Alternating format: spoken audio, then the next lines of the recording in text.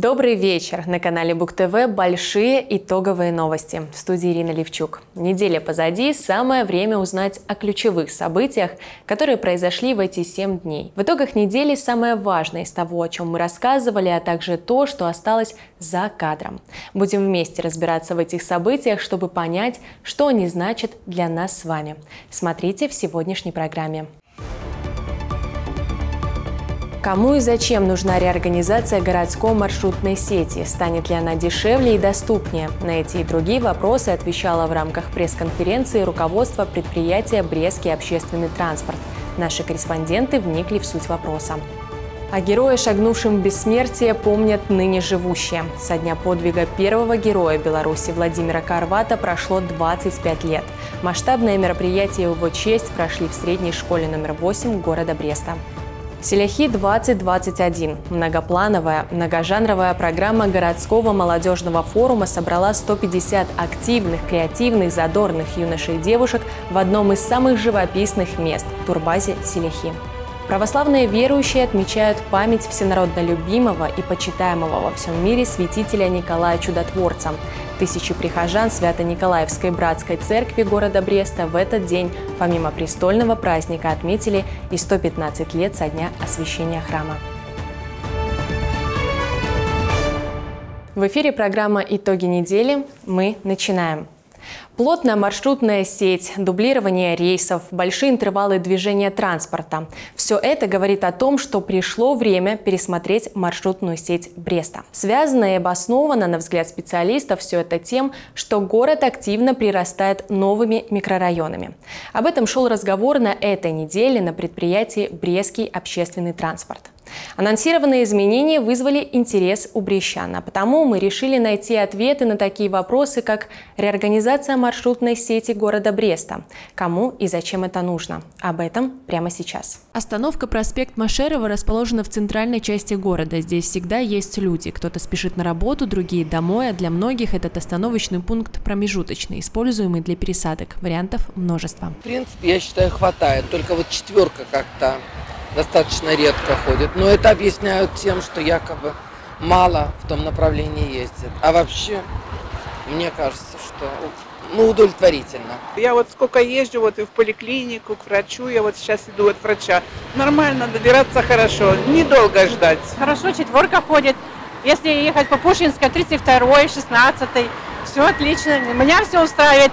Слава богу, все хорошо. Совсем по-другому обстоят дела у тех, кто поменял свое место прописки на новые микрорайоны. Например, на остановке Заречной в расписании транспорта включен только один автобус 12А. Ходит он с периодичностью в будние дни полчаса, выходные час. Мало, конечно, особенно выходных дней, это вообще невозможно никуда выехать. И такая ситуация не только здесь, не только в этом районе. Необходимость реорганизации маршрутной сети областного центра назрела давно. Это подтверждали данные научного исследования, которое проводилось в Бресте еще в 2011 году. Уже тогда результаты показали, что 67% транспорта перевозит всего лишь 50% пассажиров, а интервал движения среднего маршрута составляет 39 минут, что становится некомфортным и непривлекательным для людей. Они присаживаются на маршрутное такси. Общественный транспорт теряет своего пассажира, проблему необходимо решить. Это выводы, повторюсь, которые были сделаны в 2011 году.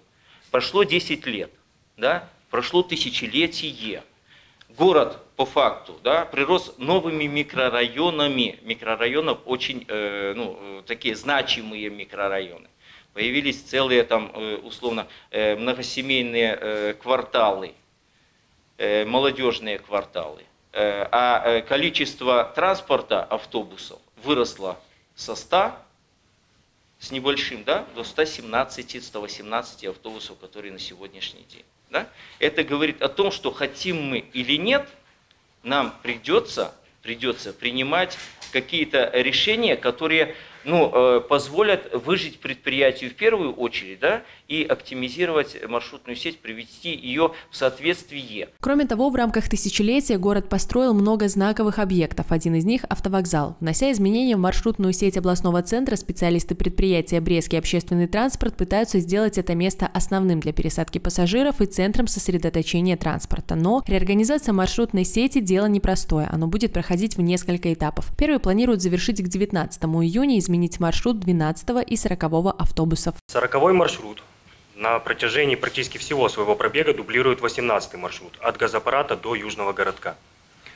12 маршрут дублирует э, девятку, начиная от улицы Сальникова, заканчивая парком 1 мая. Предложение 40 маршрут закрыть, 12 маршрут видоизменить, направив его по улицам Орджоникидзе, ну, понятное дело, с автовокзала, Орджоникидзе, бульвар космонавтов, бульвар Шевченко, Махновича, Сальникова, Колесника, Бульковская, Рябиновая, Сябровская, Жукова, Защитников Отечества, Гордейская, Венника, Пронягина. За счет этих изменений можно будет связать автовокзал с центральным рынком, обеспечить связь вышеперечисленных улиц, где достаточно большое количество населения с центром, а также уменьшить дублирование маршрутов и переполнение салонов автобусов в часы пик. Второй этап реорганизации маршрутной сети более сложный. Его планируют провести этим летом и коснется он следующих автобусов. Приостановим движение маршрутов номер 37, 37А, 38, изменим маршрут номер 6, это позволит э, произвести изменения и других маршрутов с увеличением количества рейсов на них.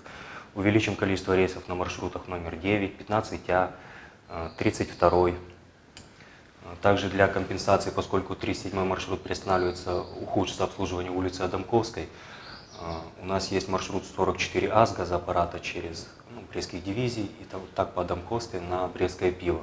На него добавим, в настоящее время он называется 44А, фактически люди о нем и не знают. Возможно, его переименуем в 37-й, просто для понимания людей, что 37-й речится как бы ассоциация. На вопрос, почему эти изменения решили проводить сейчас, а именно в летний период, специалисты дают исчерпывающий ответ. С этим вопросом а, перевозчики обратились э, к заказчику и к нам в Э, горисполком и к нам, как Брестгортранс, это Брестский общественный транспорт, в связи с тем, что на летний период э, заканчиваются учебные заведения, на летний период где-то изменяется э, режим работы многих предприятий. Поэтому такого количества транспорта ну, не совсем нужно, и в связи с этим происходит эта оптимизация. Конечно, в связи с изменениями маршрутов у определенной части людей возникнут неудобства. Э, связанные с тем, что раньше я выходил на работу, ехал прямым маршрутом, сейчас мне необходимо как-то осуществлять пересадки. Э, тут нужно пояснить, что большинство людей все-таки едут не из одного конца города в другой, а до центра или где-то там на промежуточные остановки. Средняя дальность ездки у нас в районе 4 километров. Для того, чтобы э, немножко компенсировать людям возможные финансовые потери из-за осуществления пересадок, мы предлагаем большой выбор э, электронных видов проездных документов, э, такие как на сутки, на трое, на пять, на 10 дней, э, месячные проездные, месячные проездные рабочего дня – тут каждый человек уже может подсчитать, какой билет ему выгоднее использовать. Кроме того, для оптимизации маршрутной сети областного центра и для удобства работающих на предприятиях брещан специалисты Брестгортранс решили провести серьезный анализ. Они разослали анкеты на 246 предприятий Бреста, включая учреждения здравоохранения, чтобы понять, в какие районы нужно добавить или убрать транспорт, где необходимо скорректировать расписание и маршруты, а также многое другое. На сегодняшний день на все предприятия города разосланы анкеты об анкетировании в которых предприятия указывают э, свое место расположения и место жительства сотрудников согласно карте схеме нами разработанной э, по секторам и областям, которые вы видите на экране. Э, соответственно, в анкету также вносятся предложения по оптимизации маршрутной сети. Для примера, уже те предприятия, которые нам направили обратную связь, мы видим, что где-то надо немножко подкорректировать расписание автобуса, троллейбуса под последние вечерние смены, где-то люди не успевают. Это все сейчас находится в рамках обработки. Мы это сводим в единую большую базу, после чего нами будут нанесены на карты, так скажем, графические схемы э, укрупненных, перегруженных э, секторов и областей э, остановочных пунктов, где может быть переизбыток транспорта или недостаток транспорта. Исходя из этих данных, специалисты смогут сформировать решение, которое вынесут на городскую комиссию, после чего в случае одобрения будут приняты и внесены существенные изменения в маршрутную сеть областного центра.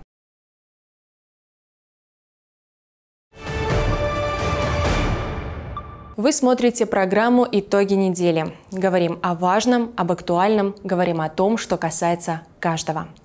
В жизни всегда есть место подвигу. Скажите банальная фраза «Увы, нет». Андрей Нечепорчик и Никита Куканенко – летчики Лицкой штурмовой авиабазы, совершая учебно-тренировочный полет на самолете Як-130 погибли, уводя неисправную машину от жилых застроек города Барановичи. От момента возникновения аварийной ситуации до падения самолета прошло чуть более минуты.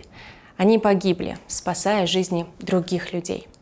О мужественном поступке погибших молодых летчиков жители Барановичей будут помнить так же, как помнят и всегда благодарны Владимиру Карвату жители Арабовщины. Имя первого героя Беларуси Владимира Карвата для Бреста давно стало знаковым. В городе над Бугом он родился и окончил школу. Отсюда уехал поступать в военное училище, чтобы осуществить свою заветную мечту – стать летчиком. Погиб при выполнении учебно-тренировочного полета, отведя падающий самолет от населенного пункта. Это произошло 23 мая 1996 года. Это было 25 лет назад. О герое, шагнувшем в бессмертие, помнят ныне живущие. С начала этой недели начались мероприятия, посвященные памяти одного из самых достойных граждан нашей страны – Владимира Карвата. В средней школе номер 8, которая носит звание первого героя суверенной Беларуси, проходили культурно-спортивные мероприятия. Учащиеся и педагогический коллектив помнят и чтят героический подвиг выпускника школы, а также рассказывают о герое, шагнувшем в бессмертие другим. Узнать больше о подвиге земляка и о нем самом в школу на экскурсию «Последний полет» пришли члены Брестской областной организации Белорусского общества глухих. Каждая Школа, как и каждая семья, имеет свою историю, свои традиции и память. Школьная семья, наша школьная семья, в своей памяти хранит имя выпускника 1976 года Владимира Николаевича Карвата. Его имя золотыми буквами вписано в историю не только нашей школы, но и в летопись города Бреста, Брещины, Республики Беларусь.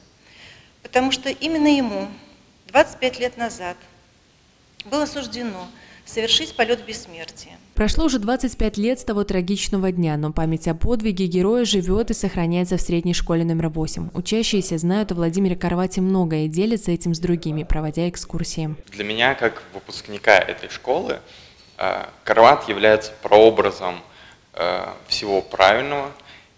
Он был обычным парнем, он был выпускником нашей школы, у него была поставлена цель, и он к ней шел до конца.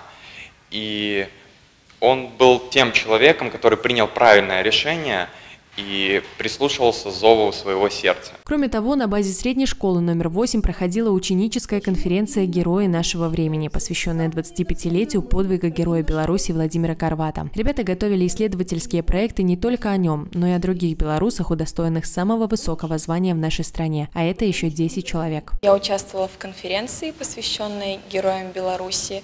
Для меня это большая возможность и честь для того, чтобы познакомить ребят, которые не знакомы с с этими героями, показать им, что мы должны быть продолжением, которые должны отличаться дисциплинированностью, поведением, хорошими оценками, потому что Владимир Николаевич Кроват оставил печать на нашей школе, мы ни в коем случае не должны осквернить его подвиг и его звание. Я с этой школы учусь с пятого класса. Когда я шел сюда, я еще не знал, кто такой Владимир Николаевич Карват, какой подвиг он совершил.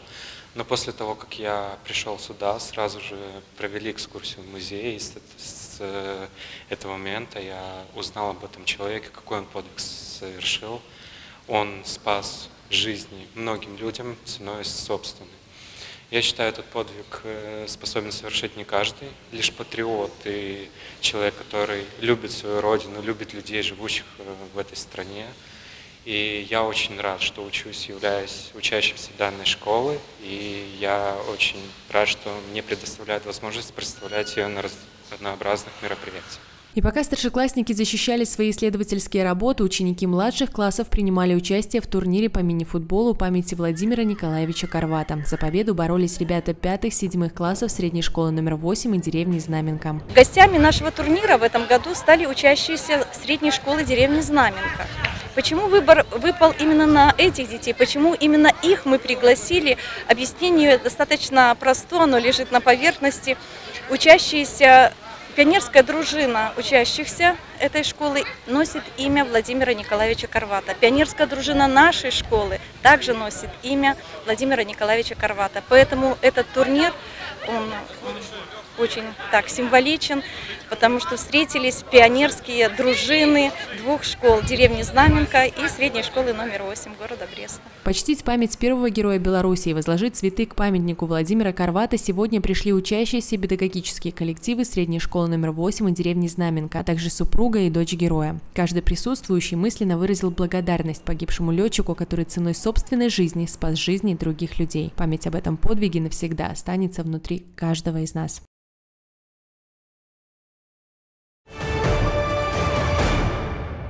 Продолжаем выпуск. 20 мая все мировое метрологическое сообщество отмечало Всемирный день метрологии.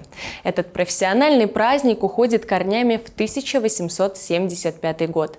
Ведь именно тогда было образовано Международное бюро мер и весов. Создана структура для глобального сотрудничества в области метрологии как науки и в области прикладной метрологии, применяемой в промышленности, торговле и сфере социального обслуживания. Этот праздник является признанием результатов деятельности специалистов, метрологов. Между прочим, от их работы напрямую зависит качество жизни абсолютно каждого человека. Возможно, не все знают, чем же именно занимаются эти люди и что это за наука такая – метрология. На все эти вопросы ответит в своем репортаже Алена Миневич. Метрология во всем, что окружает человека. Здравоохранение, проблемы экологии, развитие и внедрение новейших технологий, обороноспособность государства, энергетика, торговля, промышленность, безопасность движения транспортных средств и многие другие сферы жизнедеятельности, которые не смогли бы верно функционировать без точности, единства и достоверности измерений, а определяют пригодность того или иного средства измерения к дальнейшему использованию человеком именно метрологи. Это люди с техническим складом ума, математики, люди щепетильные в точности показаний. Именно без них уровень нашей жизни не был бы так высок. Все мы связаны с метрологией. Как только человек родился, мы его взвешиваем на весах, мы его измеряем его рост. После этого мы попадаем в свои квартиры, где у нас есть газовые счетчики, электросчетчики, водосчетчики. Их показания для нас очень важны. После этого мы все с вами едем на работу, мы едем на общественном транспорте. Поэтому показания спидометра нам важны. Если мы едем на такси, нам важно показания таксометра. Если мы приехали заправить свои автомобили, значит, нам важны показания топлива-раздаточных колонок. Если мы, не дай бог, с вами э, нам пришлось обратиться за помощью в медицинские учреждения, нам важны показания тонометров, э, пульсоксиметров, нам важны показания электрокардиографов, кардиомониторов. Брестскому центру стандартизации метрологии и сертификации в этом году исполняется 82 года. Он имеет три корпуса, представляет собой многофункциональный комплекс. Во втором корпусе работает 60 специалистов-метрологов и состоит он из трех отделов. Отдел электрорадиотехнических величин, физико-химических и геометрических величин. Отдел измерений механических величин и отдел измерения теплотехнических величин. В нем проводится поверка большой номенклатуры средств измерений. Например, термометры. Они нужны везде, в медицине медицинских учреждениях, в домах людей, на различных производствах, а существует их огромное множество. Мы можем поверять термометры в диапазоне от минус 80 до 1200 градусов Цельсия. В этой конкретной лаборатории мы проверяем термометры от минус 80 до 300 градусов Цельсия. Значит, термометры по своему принципу подразделяются на контактные и бесконтактные. Контактные – это термометры стеклянные, термометры манометрические, биметаллические, электронные. Бесконтактные – это термометры инфракрасные. Мы проверяем средства измерений, которые внесены в Государственный реестр Республики Беларусь. В основном к нам обращаются юридические лица, но если частные какие-то лица могут обращаться, мы тоже им не отказываем. То есть возникают проблемы, вопросы с показаниями э, термометров, мы можем взять эти приборы на поверку. Поверка и калибровка измерений теплотехнических величин проводится и в области измерения давления вакуума. Калибраторы и преобразователи давления, тягонопаромеры, манометры всех видов. Наиболее массовым и простым прибором измерения давления является манометр. И предприятия предоставляют ежегодно манометры на поверку э, для того, чтобы быть уверенными в их показаниях. Мы, выполняя поверку данных манометров, Э, подтверждаем их соответствие требованиям методики поверки э, и передаем заказчику с оформлением результатов поверки. Наша основная задача удовлетворить э, запросы экономики, быта людей, для того, чтобы все выполняли измерения правильно было доверие к результатам измерений. В 2021 году девиз Всемирного дня метрологии «Измерения для здоровья». Ведь в период борьбы с чумой 21 века коронавирусом важность роли измерений в поддержании здоровья как никогда очень высока. Поверка средств измерения медицинского оборудования – наиболее важный момент для всего здравоохранения. Ведь без исправно работающей техники спасать жизни людей было бы невозможно. Наш сектор занимается в основном э, поверкой медицинской техники. Это сейчас наиболее актуальные э, моменты. Вот, э, обычно производится поверка средств измерений на выходе в реанимациях. Проверяются все средства измерений, которые позволяют контролировать параметры жизнедеятельности человека. Электрокардиографы, мониторы пациента, э, реографы, тонометры, пульсоксиметры. Наиболее актуальный сейчас вопрос стал. Строительство домов, дорог, проектирование городов, торговля, промышленность, медицина и там и тут важны точные измерения. Например, в секторе измерения геометрических величин выполняются работы по аттестации испытательного оборудования в строительстве и пищевой промышленности, например, сито-лабораторные. Проводится также поверка и калибровка средств измерений, применяемых в строительстве. Например, это нивелиры, тедолиты, рейки нивелирные, рейки дорожные, уровни строительные. В машиностроении мы выполняем работы по поверки мер длины концевых плоскопараллельных, мер плоского угла, э, различного инструмента, это, к примеру, микрометры, штангенциркули, линейки, угломеры, нутромеры, индикаторной повышенной точности. Э, в торговле, в торговле и промышленности это линейки, рулетки, метры деревянные. Ну и также в медицине, э, для медицины мы выполняем работы по поверке наборов пробных очковых линз, линеек скископических, периметров настольных. Значение метрологии огромное и всеобъемлющее, ведь точность измерений важна для любой области деятельности человека. И цель Всемирного дня метрологии вновь и вновь привлекать внимание к тем проблемам и задачам, которые она призвана решать. А главное, в очередной раз поблагодарить профессионалов этого дела за точность и выверенность во всех сферах нашей жизни. Молодые люди Бреста креативят. Двухдневный городской молодежный форум «Селихи-2021» в очередной раз для своих активистов организовал Белорусский республиканский союз молодежи при поддержке областного и городского исполнительных комитетов. Порядка 150 участников из различных учреждений образования приехали в одно из красивейших мест в Брестском районе – турбазу возле озера Селихи, чтобы совместить полезное времяпрепровождение с активным спокойным отдыхом на природе.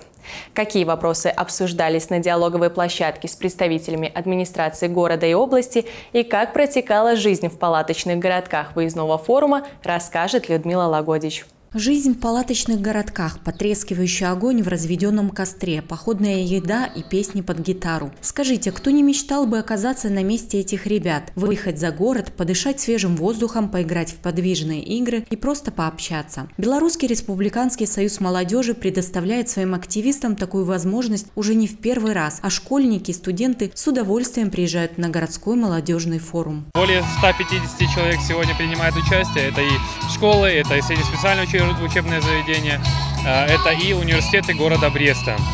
А, сегодня у нас насыщенная программа. То есть сегодня сейчас у нас в данный момент проходит открытие, после чего будет открытый диалог с, участ... с участниками соревнований. А, завтрашний день у нас полностью в спортивных соревнованиях. Это и волейбол, это и дартс, это и спортивное ориентирование. То есть много насыщенная программа. Вот. Ну и завершаем мы в воскресенье. Также будет нас спортивные соревнования. Ну и, соответственно, закрытие, где будем награждать лучших э, среди, среди специальных и учебных заведений э, общего э, образования, а также университетов города Бреста. Среди участников молодежные отряды охраны правопорядка «Рух» и «Алмаз», команды пяти школ, двух колледжей и университетов Бреста. В программу форума вошло множество мероприятий, от торжественного открытия и культурно-развлекательной программы до дискуссий на самые серьезные темы. Здесь каждый мог найти занятия по душе и круг общения по интересам. Мы в БРСМ живем очень насыщенной жизнью. Как, у нас есть как спортивные мероприятия, так э, конкурсы. Э, мы выезжаем за город, например, как сейчас. И вот сегодня у нас будет проходить как открытый диалог.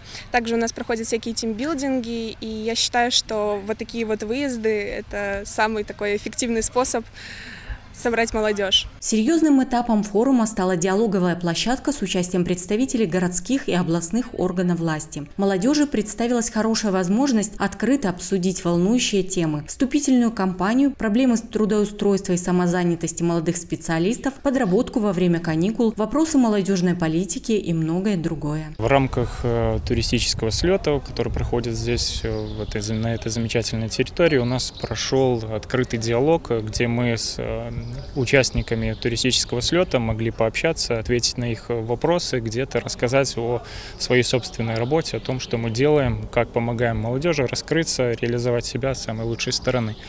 Вопросов было на самом деле очень много. Молодежь интересуется теми мероприятиями, которые мы проводим. Так как в прошлом году пандемия, к сожалению, многие мероприятия не позволила провести, то в этом году мы наверстываем упущенное. У молодежи действительно есть запрос на то, чтобы участвовать как можно больше, как можно чаще. Э, в том числе и об этом были вопросы на диалоге. Сегодня очень хорошая погода и все, в принципе, располагает для того, чтобы э, данный молодежный форум Селихи 2020 21 состоялся на высоком уровне. Сегодняшний день это заезд, да, ребята расположились, э, мы провели открытие, поговорили и дальнейшее планируется, безусловно, это и дискотека. Ребята еще больше познакомятся, а уже завтра начнутся такие мероприятия соревновательного характера. Время пролетело незаметно, и городской молодежный форум оставит в истории БРСМ и в памяти каждого незабываемые моменты. Прекрасная экологическая турбаза Селяхи вот-вот откроет летний сезон 2021, а участники форума с нетерпением будут ждать новых мероприятий.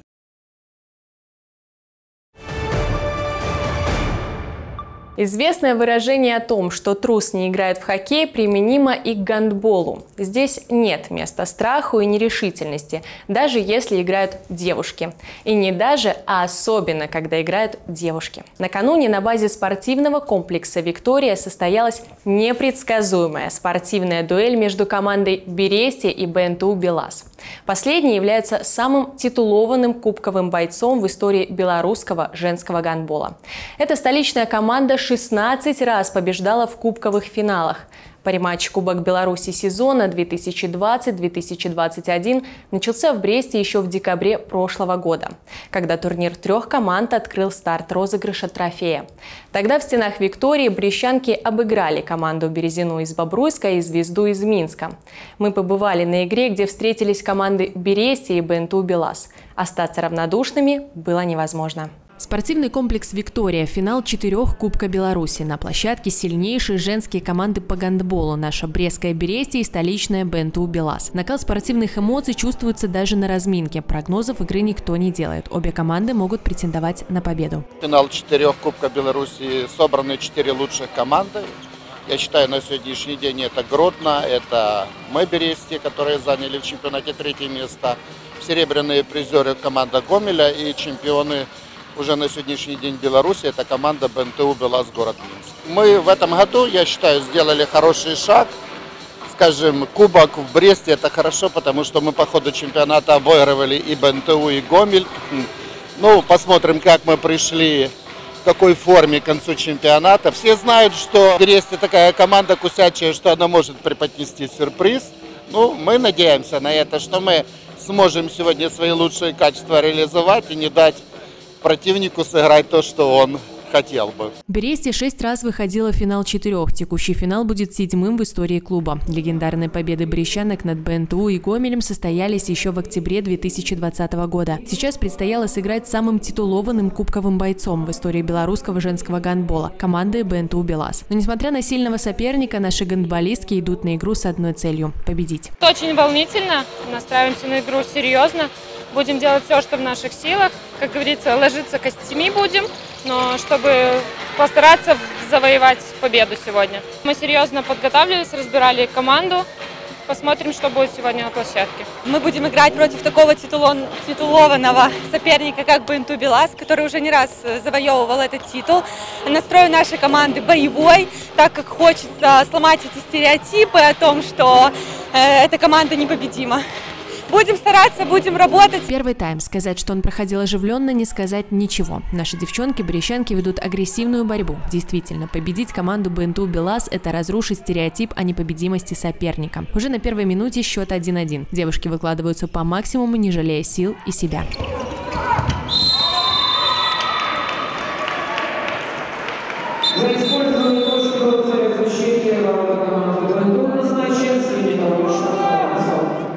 Середине первого тайма ничья, счет сравнялся 8-8, но на 23-й минуте перевес БНТУ Белаза на 5 мячей, рывок наших девчонок и сокращение отставания до минимума. Накал спортивных страстей во второй половине матча брещанки вышли вперед. Это будет наша!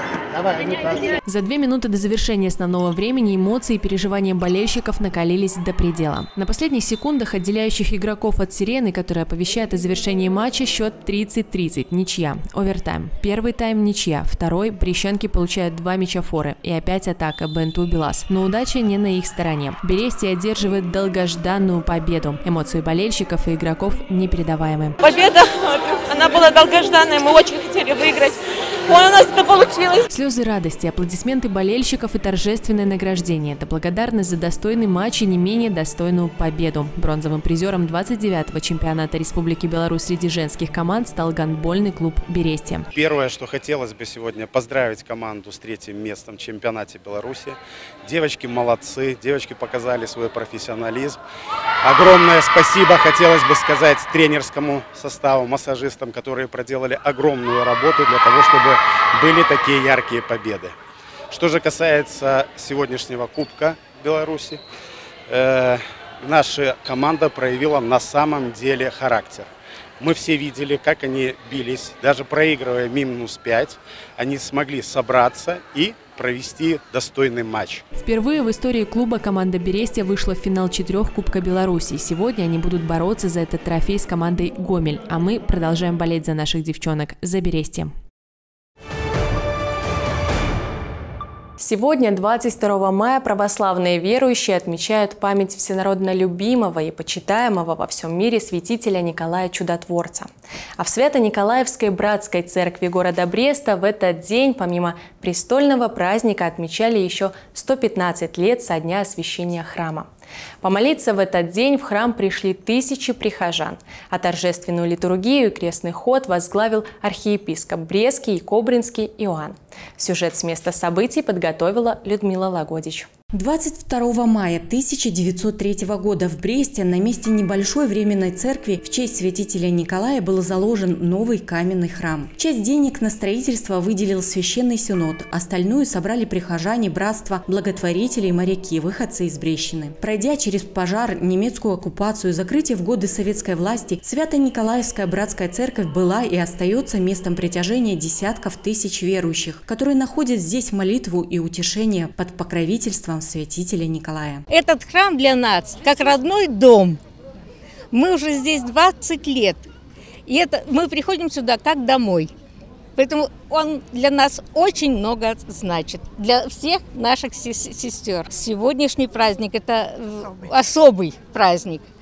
И наше сестричество в честь святителя Николая, и э, часовня в антилогии э, в честь святителя Николая – и сегодняшнее 115-летие этого храма для нас ну просто э, не передать словами. Это настолько торжественно, настолько важно для нас, что все сестры счастливы собраться в это наше вот непростое время все вместе. Сегодня нашему храму 115 лет. В этом храме мы с самого детства поем э, на хоре, ходим в воскресную школу, э, также ходим каждое воскресенье на службы по большим праздникам. Нам очень нравится, это сплочает наш коллектив. Э, и всех хотим от лица молодежи поздравить с этим прекрасным э, праздником, Днем Святителя Николая. Сегодня стены храма не смогли вместить всех желающих. Более тысячи людей молились внутри и на улице. И так происходит каждый год, в день перенесения мощей самого любимого в народе, скорого помощника, святителя и чудотворца Николая. Спаса нашего Иисуса Христа со всеми вами.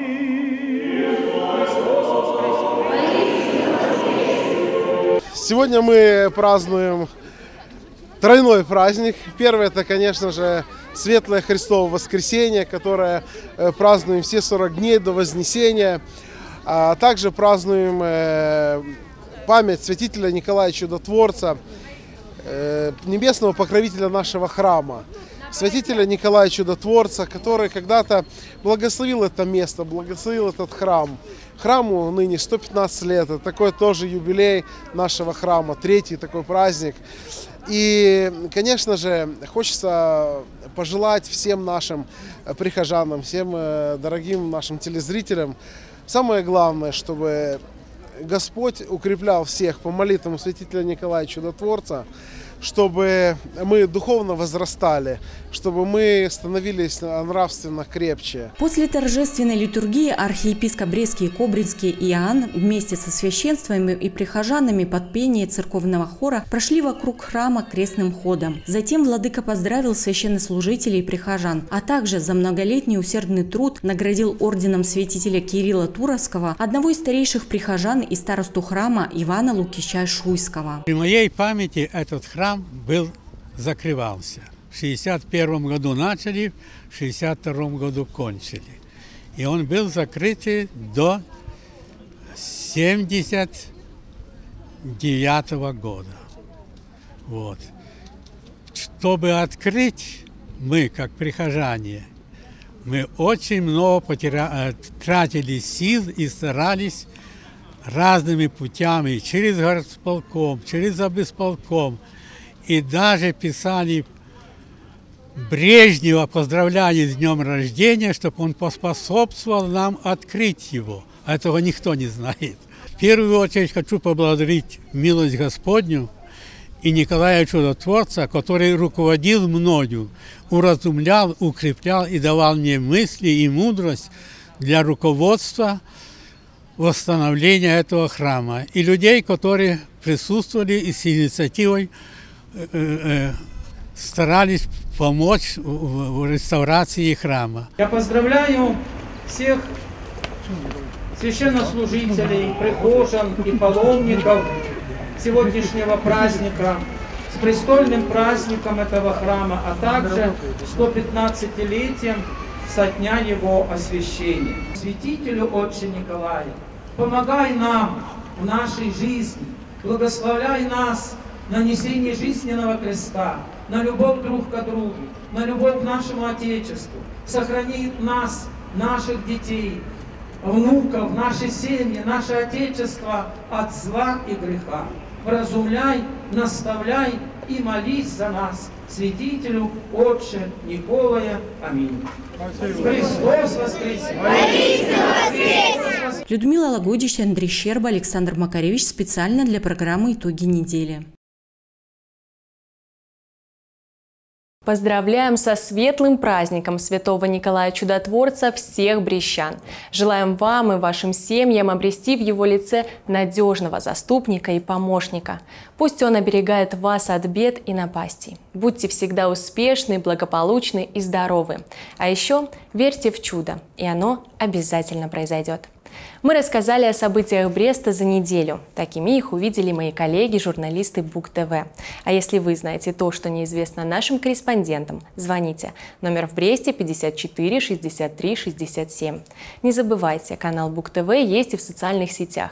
Будьте с нами на Фейсбуке, Инстаграм, ВКонтакте, а также подписывайтесь на наш канал в YouTube. Мы встретимся снова в студии программы «Итоги недели» уже в следующую субботу. А сегодня я, Ирина Левчук, прощаюсь с вами. Всего вам самого хорошего и, конечно же, берегите себя, будьте здоровы!